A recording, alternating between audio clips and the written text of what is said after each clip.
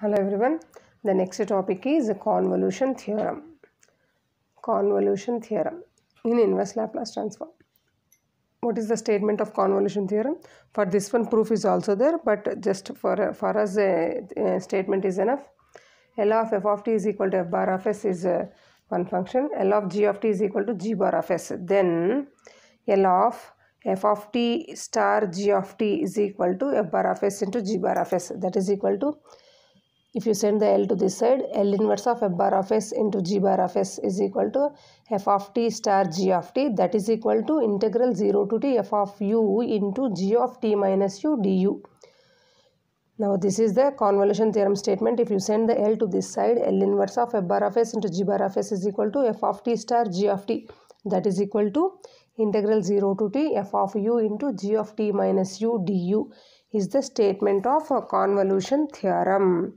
That means uh, whenever uh, product of two terms, whenever product of two terms occurs inside of L inverse, inside of L inverse, whenever the product of two terms occurs, you have to apply convolution theorem.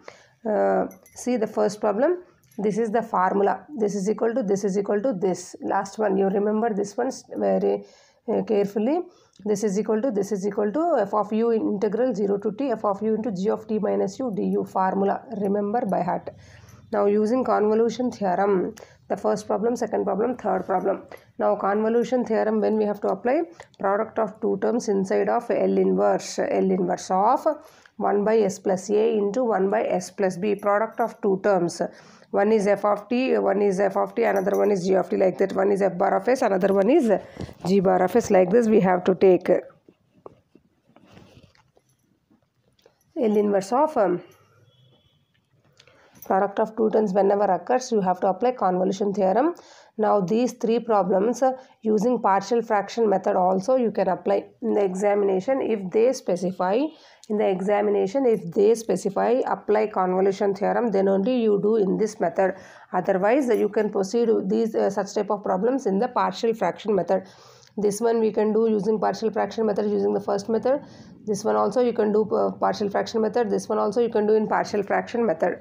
Now that means convolution theorem problems all problems you can solve in partial fraction method. Uh, but in the examination sometimes they will specify apply convolution theorem to solve or to find L inverse of something.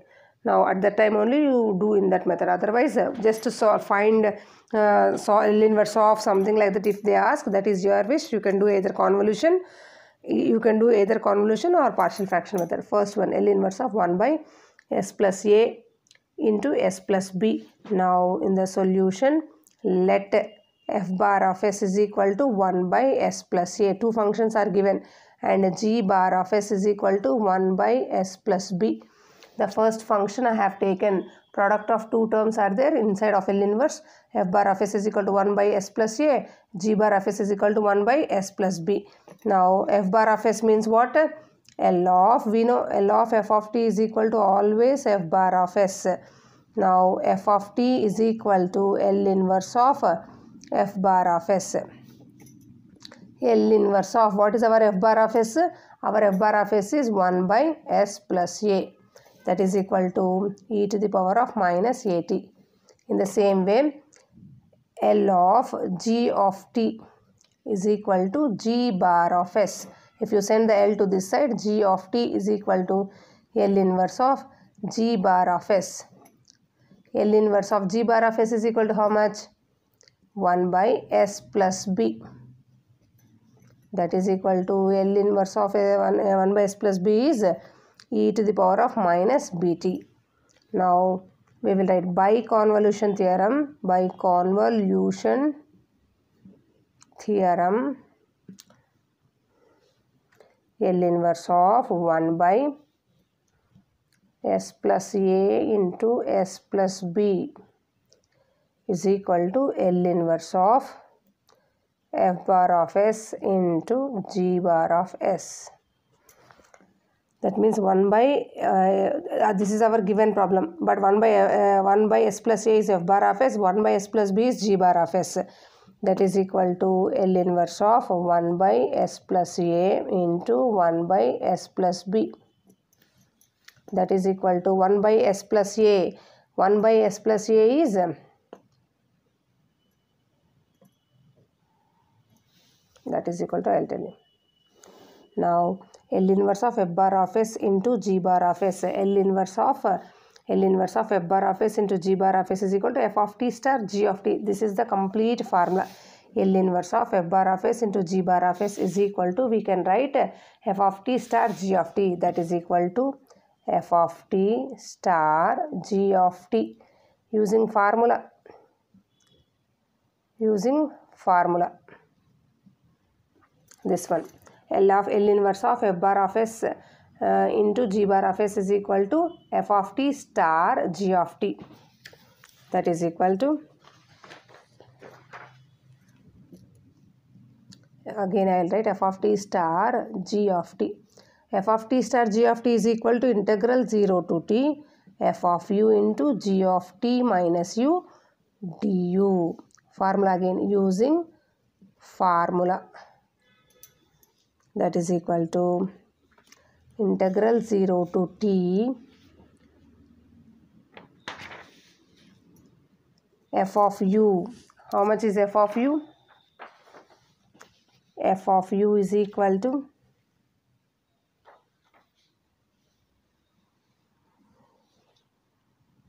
f of t is equal to e to the power of minus 80 in place of t f of t is equal to e to the power of minus 8 f of t is equal to e to the power of minus 80 in place of t you have to substitute u. f of u is equal to e to the power of minus au into e to the power of g of t minus u. g of t is equal to e to the power of minus bt in place of t you substitute b minus u. e to the power of uh, minus b into t minus u du f of t is equal to e to the power of minus 80 in place of t you substitute u you will get f of u. G of t minus u is equal to g of t is equal to this one. G of t minus u if you want in place of t t minus u. Wherever t is there t minus u if you substitute you will get like this. That is equal to e to the power of minus a e to the power of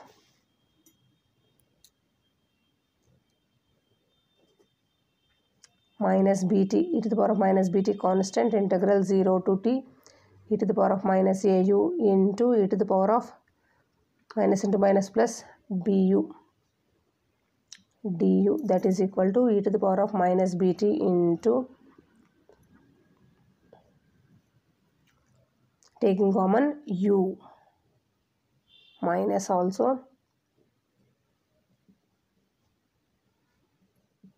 we write like this 0, 0 to t minus au minus into minus plus bu that is equal to e to the power of minus bt integration of this one is uh, e to the power of minus uh, a minus b u by minus of a minus b. 0 to t.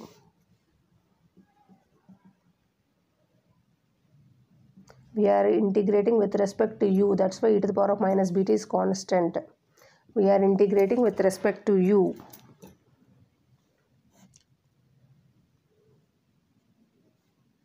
upper limit minus lower limit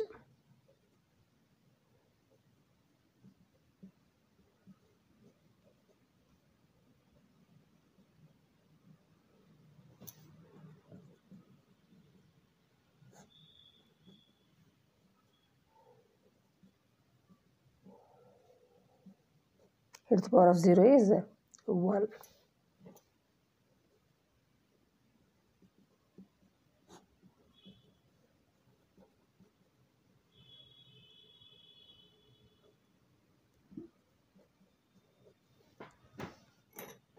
minus 80 minus into minus plus bt now if you multiply plus bt minus bt get cancelled. This one this one get cancelled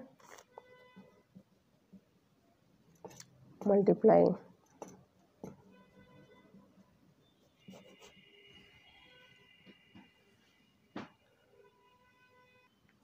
The next problem is uh, L inverse of 1 by s into s square plus 4 here also product of two terms. This problem also you can do using Laplace transform method. But if the in the given problem if they specify using convolution theorem then only you do product of two terms are f bar of s is equal to 1 by s g bar of s is equal to 1 by s square plus 4 now l of f of t is equal to f bar of s. F of t is equal to l inverse of f bar of s. L inverse of f bar of s is 1 by s. L inverse of f bar of uh, l inverse of 1 by s is 1 l of g of t is equal to g bar of s. G of t is equal to l inverse of g bar of s. L inverse of 1 by s square plus 4 that is equal to 1 by 2 into sine 2t.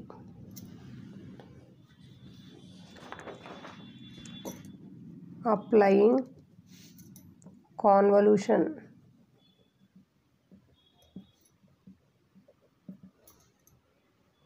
L inverse of 1 by s into s square plus 4 is equal to L inverse of 1 by s into 1 by s square plus 4. L inverse of this one is f bar of s, this one is g bar of s. That is equal to f of t star g of t. That is equal to integral 0 to t f of u into g of t minus u du. F of u wherever t is there in place of t u. Integral 0 to t f of u is 1 into g of t minus u. 1 by 2 into sine 2 t minus u. 1 by 2 sine 2t 1 by 2 sine 2 into t minus u du. That is equal to 1 by 2 I'll write outside integral 0 to t sine 2 t minus u du. 1 by 2 into integral sine is a minus cos 2 into t minus u t into by minus 2 minus 2 d with respect to u we are integrating by minus 2 t 0 u minus u becomes minus 2 2 into minus 1 that is equal to with respect to u we are integrating remember 1 by 2 into minus 1 by 2 is uh, minus minus cancel. 1 by 2 into 2 is 1 by 4 1 by 4 into upper limit is uh, cos uh, 2 into t minus t minus cos 2t minus